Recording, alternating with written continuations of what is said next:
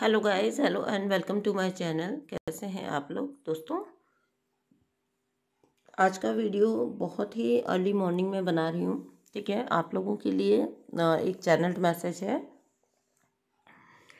And I was so eager to share it with you बहुत eager थी मैं इसको आपके साथ शेयर करने के लिए, आप लोगों के साथ, क्योंकि ये बहुत से लोगों को अभी इस टाइम पर बहुत राहत पहुँचाने वाला मैसेज है। ध्यान से सुनिएगा पूरा मैसेज ठीक है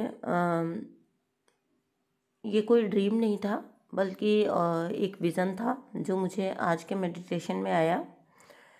Okay so the vision was like जब मेरा ब्रह्म मुहूर्त का आज मेडिटेशन में आई वॉज़ जस्ट मैं ऐसे ही बिल्कुल इतना अच्छा कनेक्शन बना हुआ था।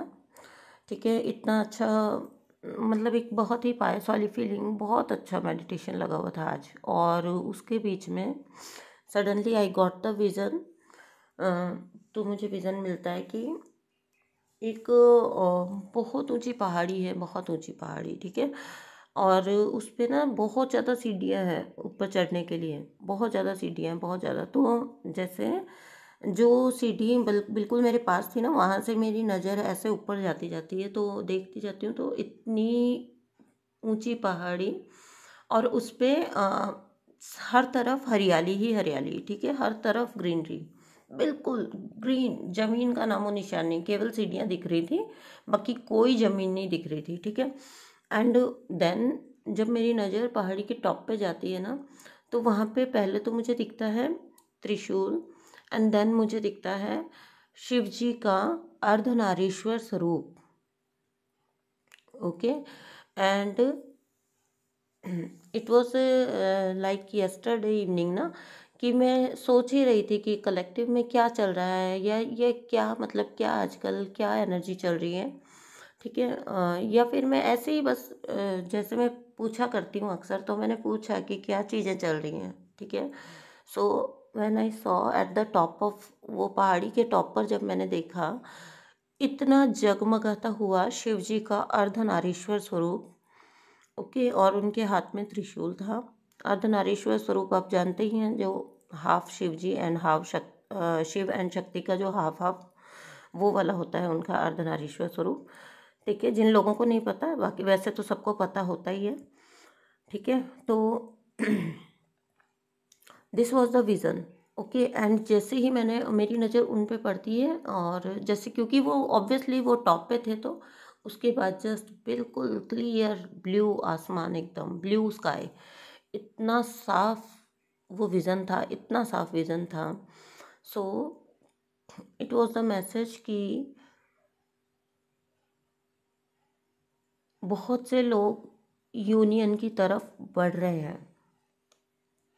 बाय देयर हार्ड वर्क इतना वो जो सीढ़ियाँ थी, वो हार्ड वर्क को रिप्रेजेंट कर रही थी, वो इनर वर्क को रिप्रेजेंट कर रही थी, वो आपके अपलिफ्टिंग को रिप्रेजेंट कर रही थी एंड उसके बाद वहाँ पे शिवजी का अर्थ नारीश्वर स्वरूप रिप्रेजेंट कर रहा था हारमोनियस यूनियन को हारमोनियस रियूनियन को, ठीक है?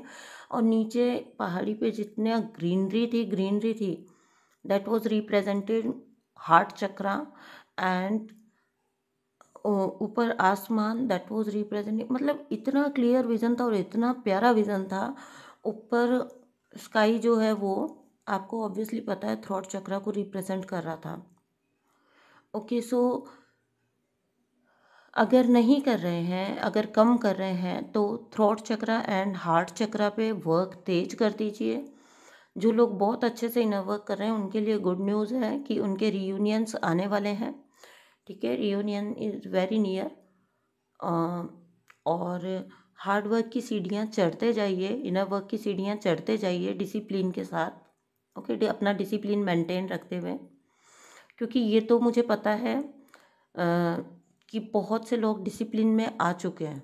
बहुत से लोग डिसिप्लिन में आ चुके हैं। Okay? And they are heading towards their harmonious union dedicatively dedicatedly ठीक है? अब ना उनको क्रेविंग है ना उनको जानने की इच्छा है। ना उनको जानने की इच्छा है ना उनको आ, मिलने की इच्छा है बात करने की इच्छा है ठीक है? किसी से भी। अब उनको बस और बस दिखता है अपना इनर वर्क अपना हार्ड वर्क ठीक है? So please stay focused focus रहिए ठीक है? ये क्लियर मैसेज था।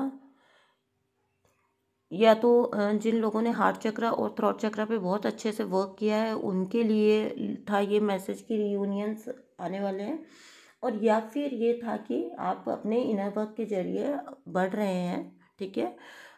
लेकिन आप और ज़्यादा इन चीज़ों पे वर्क स्टार्ट करिए ठीक है? और ज़्यादा इन पे वर्क फोकस्ड हो जाइए। सो so, अच्छे से अपने throat chakra and heart chakra को हील करिए। Okay so this was the message for you today ठीक है, बहुत एक्साइटेड थी मैं और बहुत जल्दी शेयर करना चाहती थी आप लोगों से। सो मैं इसको अभी डाल रही हूँ चैनल पे। ओके इन्जॉय योर जर्नी ठीक है फुल डिसिप्लिन में रहिए। Thank you so much for watching thank you so much Bye.